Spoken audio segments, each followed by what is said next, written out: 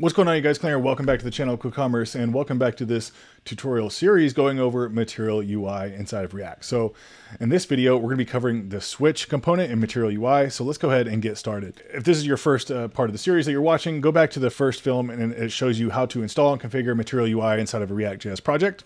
So here we're gonna be working on the switch component here, the switch input. So I'm gonna go ahead and create a new file in here. I'm gonna call it switch example.jsx, just like that. RAFCE is going to generate our functional component here. Okay, and then let's go into our app.js and we'll comment that out. And let's go ahead and import our switch, our switch example is what we called it. There we go. Okay, so let's go ahead and save and we'll slide our example, or our switch example. Let's check this out. So npm run dev will start up your development server. You should see switch example, which is what we have right there. So inside mui.com slash material dash UI, let's go ahead and click on this button there if you're not already there. We're going under this component tab here, and then we're working on inputs, and we're just at the switch, just like that, okay? So the switch is pretty easy. Um, basically, just you can toggle on and off. It's more, call it a switch or a toggle. Either one's fine. You can disable it. You can add a, a label to it. So let's go ahead and have a look at this, this source code here. So what we want to do, just import the switch from at mui slash material slash switch. So we'll just import that here at the top.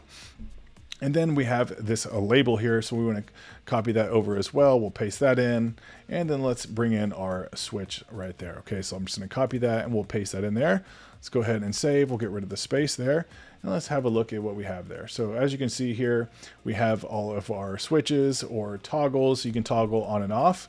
Um, there you have that one there. It's kind of cool. Um, so this first one here, uh, default checked so if we refresh, as you can see by default, it's already toggled on. Uh, you can remove that if you want there. Um, go ahead and refresh and it's off. So we'll leave that back there.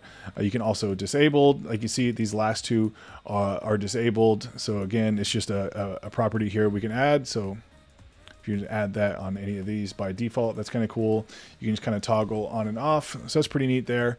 Um, let's see what else we have here. So we have some labels in here. That's kind of nice there.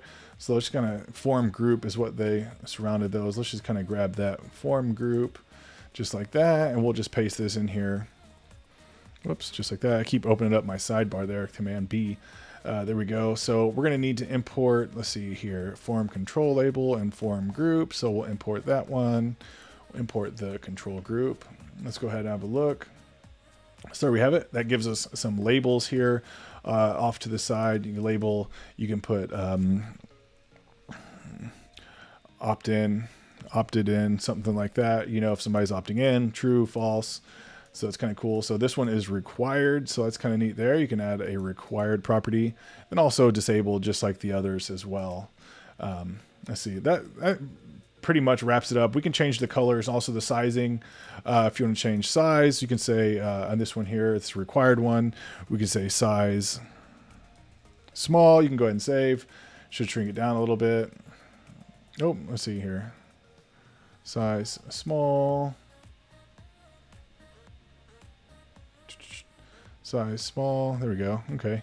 So I'm on the wrong one there. So this needs to go on the switch here. So there we go. Put it on the switch. Let's go ahead and save. So we're adding it to that switch component there. So you can see that kind of lowered it down, made it a little bit smaller. So kind of cool there. Of course, you can change the colors. So uh, we'll do this first one here. Let's do this first opted in one here. So opted in, we can change the uh, color. So we'll say color property. Whoops, color property. We can say, I think it's primary is what we have now. We'll say secondary. Let's go ahead and save. Uh, let's see there. Color secondary on the switch. I keep adding it on the wrong one. Let's see here. We'll add it to this one here. So we'll say color secondary. Let's go ahead and save. If we refresh, if we toggle that on, you can now see that it's purple. So kind of cool. You can change uh, the colors there. Um, we'll do this one here as well. So color. You can also have maybe success, which should be a green color. There you go. And then I think the error is what they call red. Warning. So we could say warning. Maybe if something's toggled on, you can add a, a warning message there as well. Or see, that's uh, yellow. So kind of cool there. Uh, let's see what else we have there. Controlled. can add some names to it there. Oh, this kind of cool. So yeah, let's look at this here. Let's see. Mm, let's have a look at this here.